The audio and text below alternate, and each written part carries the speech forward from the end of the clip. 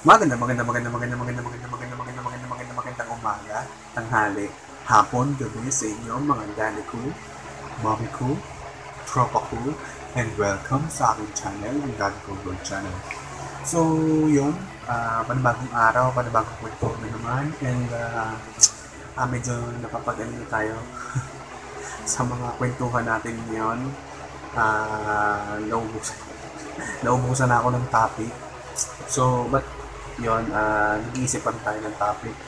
And uh, ngayon, naisip ko na ang pagkwentuhan naman natin yun since uh, it's it's uh, Solaris uh, Day. Ang pagkwentuhan natin ngayon is yung mga uri ng kaaway. Yan. So, kung nakaraan eh, mga kwentuhan tayo about si sa eskwelahan and uh, staffs. Ngayon, eh, ang pagkwentuhan naman natin is yung mga uri ng kaaway. Yan. So, maraming mga klase ng kaaway kasi meron sa trabaho, sa kapitbahay, eskwelahan. So, yung pag uh, pag-usapan natin yung mga mga ano nila, mga klase nila. Diba? At kung bakit nga ba nagiging nagkakaroon tayo ng ganitong kaaway. Diba? So, yun tara. Kwentuhan tayo. And John, yung una natin sa mga uri ng kaaway is tinatawag kong backyard. Backyard. Yan. Ito yung mga uri ng kaaway na palagi lang siyang nasa likod. Ready to stab you, ready to do something bad to you. But, uh, uh, kadalasan itong mga backyard na to, eh, mga takot din lumaban sa'yo. No? Ayan yung, kasi uh, takot siyang matalo sa'yo or takot siyang mapahiya kapag na nakumpronta mo siya. Yan. So, ang ginagawa ng mga backer na eh, kapag merong kapag merong nag-stand up na kaaway mo, na katulad niya, kaaway mo rin, eh, susuportahan niya yung nag-stand out na. Pero, hindi hindi siya gagawa ng paraan, ay hindi hindi siya gagawa ng hakbang para kalabanin ka. Kumbaga, ano lang ito eh, uh, duwag. duwag yan. So, uh, yun din yung kapag yung may nag-stand out sa'yo, nag-stand out na kaaway mo yun, uh, gagatungan, yan. But, never ever na mag-show up ng mga inimpak na to. So, mga kaaway mo siya from the back. So, back, mga backstabber nga, ika nga. No? So, talagang, ganun lang sila makipaglaban. No? So, syempre, uh, meron silang pinoprotektahang imahe, may pinoprotektahan silang uh, pahihiyan, kaya kahit na inis na inis na sila sa'yo, naghahanap sila ng masusuportahan para kalabanin ka. Diba? Yun yung, yun yung mga, ano, mga galawan ng duwag. No, so, lagi lang silang sa backyard, lagi lang silang sa likod na ready para saksakin ka. Diba? So, kung, kung meron kayong mga kalalang ganito na, na backyard, mga backstabber, eh, ayaw ko lang kung uh, kayo, paano nyo sila aanuhan, but syempre, kung naiinis ka sa tao, sabihin mo, di ba? Sabihin mo ng harapan, hindi tumitira ka palikod. Di ba? And yun. And John, yung next natin sa mga uri ng kaaway is yung tinatawag kong informant. Informant yan. Ito yung mga uri ng kaaway na nag-feed sila nag-feed sila ng information doon sa mga taong galit din sa'yo. Di ba? So, hindi, hindi mo alam eh.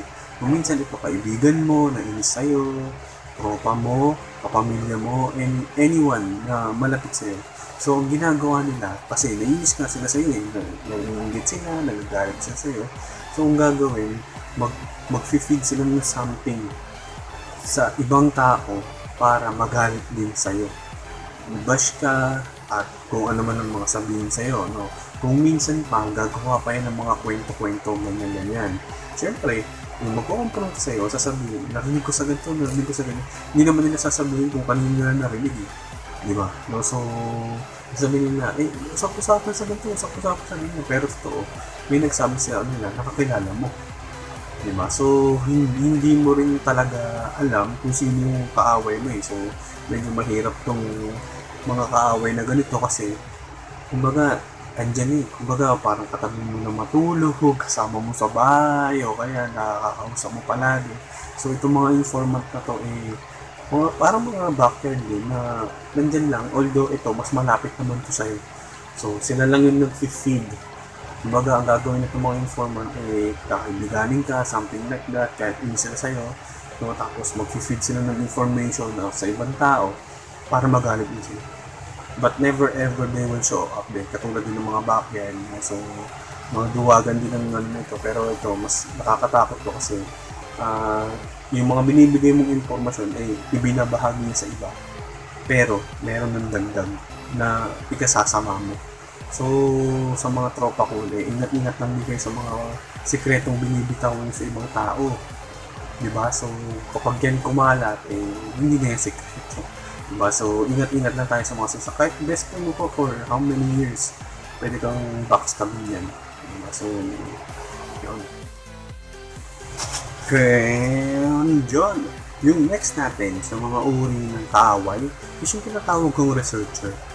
Researcher yan. Ito yung mga uri ng kaaway na talagang naggugugol sila ng panahon. Naggugugol sila ng oras para lang mag-research ng mga mali sa'yo. Kung minsan, magtatanong-tanong pa yan kasi yung ganito, kasi ganyan. Ah, talagang naghahanap sila ng mga nakakakilala sa'yo tapos naghahanap sila ng butas mo. Diba kung halimbawa, ah, may narinig siyang ganito, may narinig siyang hindi maganda sa'yo, tapos mag, ah, ano yung tayo ganyan, mag, ah, parang nagiging, ano na, ah, voice amplifier. yun, basta yun, ah, kahit malayo pa lang, basta against sa'yo, eh, maririnig yan. Tapos, kapag narinig niya yung information na yun, talagang mag-uusisa yan magdidig magdidig yan ng magdidig hanggang sa makuha niya yung gusto niya makuha na impormasyon. Kaya lang, kung minsan, magre-research yan, makakuha ng idea. Kaya lang, kapag ibinato niya sa iba, eh meron ng dagdag. Diba? So, talagang napapasama ka. Yung tipong kahit na ang narinig niya lang eh mild against you, pero pagdating sa pag pinasa niya na yung information sa iba, eh talagang dinadagdagan niya ng talagang ipasasama mo. No? So, medyo ah, ano lang din to dahil talagang ano eh talagang nag-research siya ng matindi sa buhay mo. Kung paano niya kung paano kanya maipababag maibabagsak. Diba? Parang yun yung purpose niya sa buhay kaya sa nabubuhay. Para sirain ka, durugin ka, asarin ka. Diba? So maraming mga kaaway na ganito. Kasi may mga kaaway na yung mga kaaway na nasa likod mo lang Diba? Yun yung mga nakakatakot. Kasi hindi mo alam kung sino yun. Diba? So, sa mga tropa ko, ingat-ingat tayo, lalo na sa mga pinagsasabi natin, sa mga galawan natin, ingat-ingat tayo kasi may mga taong naiinis sa atin. So, hindi natin alam kung anong tumatakbo sa utak nila. And yun. And John, yung next natin sa mga uri ng uh, kaaway, yung tinatawag kong families. Yan. Families. Ito yung mga uri ng kaaway na pati pamilya mo, kamag-anak mo, eh, ah, pinagtatanungan niya para lang makahanap siya ng butas mapanira ka. Lalo na kapag narinig mong in not good terms, ay narinig nung kaaway mo na yun na in not good terms ka sa pamilya mo, yan, mag-ano na yan, magre-research na yun sa pamilya mo kaysa ganito, kaysa ganyan. Pero syempre, dahil nga galit sa iyo yung pamilya mo, eh, kung ano na masasabi. Diba? So, gagamitin ngayon yun ng kaaway mo para ipanglaban against sa'yo. Yung, yung tipong, lalo na kapag talagang galit na galit, may ginawa kang galit na galit sa yung pamilya mo. Although, hindi naman nila ibubulgar lahat. But syempre, meron at meron yan eh. Lalo na kapag yung kaaway mo ay magaling magpalabas ng sama ng loob. Yung, yung gagatungan ng gagatungan yung sama ng loob ng pamilya mo. Gagatungan ng gagatungan yung sama ng loob ng pamilya mo. Tapos hanggang sa kung ano-ano na makwento. So, yun na. Meron na silang may panlalaman sa po. No? So, medyo delikado to kasi lumalapit na yung kaaway mo sa pamilya mo. So, ano pang magiging laban kapag pati pamilya mo eh, ilinaman niya na sa kalokohan niya. Diba? So, sa mga pamilya naman ng mga ganito, kapag may nagre-research sa, sa na masama sa anak nyo, eh huwag nyo naman siraan yung anak, kapatid o kapamilya nyo. Kasi syempre, pamilya kayo. Diba? Hindi yung kayo pa yung sisira dun sa kapamilya nyo. Diba? So, pangit din naman yung sa inyo pa manggagaling ng mga negative negative uh, thoughts about dun sa tao yun. Diba? So, i-ano nyo lang, i-assess nyo kung sino yung mga nagtatanong, nag-research. Baka naman din kasi kaaway nila yan. So, hindi nyo alam. So, hanggat kayang ilimit yung kayang ibigay na informasyon, ilimit nyo para maprotektahan din yung kapamilya nyo. Kahit please kayo dyan. Diba? Pro- protektahan nyo kasi kapamilya nyo yun. Diba? Yan yun. And yun, yung next natin sa mga uri ng uh, kaaway yung tinatawag kong Warner Brothers. Warner Brothers. Ito yung mga uri ng kaaway na uh, kahit wala ka namang ginagawa, no? So, basta, basta yung stress kasi, no? Tapos may nagawa kang ganito, may nagawa ka. May nagawa ka kahit hindi mo naman sinasadya. Itong kaaway mo to, eh, babalaan niya. Magwa-warn siya sa ibang tao na ganito ugali niya, gantong ano niya, kapag gantong ginawa mo, gagala, sumba, diba? So, talagang, ah, uh, kumbaga, kung, kung halimbawa, kung halimbawa lang, uh, may ginawa siya na hindi mo nagustuhan, ikaw, may nagawa siya na hindi mo gustuhan, tapos ganito ginawa na ganito sinabi mo. Eto ngayon, maging kaaway mo mag-aaway kayo, di ba? Kaaway na ito. Ang gagawin niyan, sisiraan ka sa iba na kaysa si ganito, sinabihan, sasabihin niya, kaysa si, eto, sinabihan mo lang ng ganyan, minura-mura ka na, ganyan, ganyan. So, so kahit hindi mo siya minura, napataas lang yung boses mo, eh, madadagdagan na yung kwento mo. So, syempre, yung ibang tao, medyo mangingilag na sa'yo. Diba? So, kahit na, gano'n naman yung mindset ng tao. Kapag nakarinig lang ng negative dun about sa ibang tao, eh, medyo mangingilag na. Kahit hindi pa naman talaga nila kilala yung tao yun, Lalo na kapag yung nagsabi, pag yung nagsabi yung pinagkakatiwalaan nila o kaibigan nila, di ba? So, siyempre, ang tao, mag-aano yan na, ganun ba? O sige, hindi ko na masyadong maanuhan yan kasi baka ganito, ganito, ganyan. So, madalas, madalas naniniwala tayo sa sinasabi ng ng kasama natin, kaibigan natin, o kakilala natin na na against sa ibang tao, mali mo, kaaway niya pala yun. O kaaway ng kaibigan mo, sinisiraan na. So, unfair yun, di ba? Unfair yun doon sa tao na yun kasi sinisiraan lang siya ng kaibigan mo. Diba? So, ang tip ko sa inyo mga tropa ko, eh, suriin muna. Hanggat hindi nyo nakikilala yung tao, huwag nyo i-judge based lang sa kung ano sinabi ng kaibigan nyo, kapatid nyo, kapamilya nyo, di ba? Hanggat hindi nyo siya nakikilala, hanggat hindi nyo nakikita yung totoo niyang ugali, huwag nyo i-judge yung tao.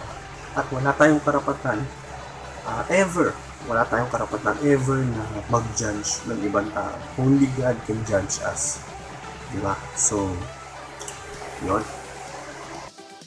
And yun. Thanks for watching for today's video and I know na nakarelate naman tayo sa mga kaaway natin dahil uh, parang parte na ng buhay yun. Parte na ng buhay na meron ka makakaaway kahit na wala kang ginagawa at tingin mo wala kang ginagawa. Meron, meron mga tao maiinis sa'yo. Di ba? Uh, maiinggit sa'yo, or kung ano man, kung ano man dahilan kung bakit nila, kung bakit mo sila nagiging kaaway, eh, hindi mo rin alam. Bas, basta for as long as ikaw ay maayos ka at alam mong wala ka nasasagasang ibang tao at kung meron man eh, mag-sorry ka in advance kung may sasabi ka, syempre ikaw palagi mong ilalagay yung sapat yung paa mo sa sapatos ng iba Kumbaga, ikaw sa sarili mo, imagine mo kung ikaw yung sabihan ng ganun, ano mararamdaman mo. Diba? Kahit na hindi mo intention, kahit hindi mo intention na magsabi o magsalita ng kung ano man, eh, uh, iba yan eh. Magiging iba yan, iba ang dating yan doon sa taong makakarinig. Diba? Kahit ikaw eh, magandang intention mo or what, pero pag sa iba, lalo na kapag nandun sila sa sitwasyon na yun, eh iba iba yung maririnig nila iba yung iba yung magiging pangunawa nila so tayo uh, maging sensitive tayo sa mga pinagsasabi natin uh, sa mga kinikilos natin uh, para hindi tayo masyadong nagkakaroon ng kaaway ano kasi yung iba na overconfident na wala nga sila magiging kaaway pero at the end of the day, hindi nila alam marami silang kaaway. Di ba? At hindi rin naman porket ah, masayahin ka or ano ka, pabibo ka, gusto ka ng marami, eh wala ka ng kaaway. Actually, meron at merong mga naiisa sa'yo. Yun yung mga naiinggit naman sa'yo. Kasi popular ka, nilalapitan ka ng iba, so magkakaroon at magkakaroon ka ng kaaway. At kahit anong gawin mo, meron at merong kokontra sa mga pinagsasabi mo, pinaggawa mo. So, ikaw, for as long as happy ka and uh, uh, wala kang ino-offend sa tingin mo. Diba, na tao, eh, gawin mo lang kung anong gusto mo. Diba? We all have the rights be happy, we all have the rights to do what we want, but uh, if uh, yung iisipin pa rin na kung ano man yung gusto natin gawin, eh, meron at meron mga consequences yan. Diba? So, yun, palagi natin iisipin.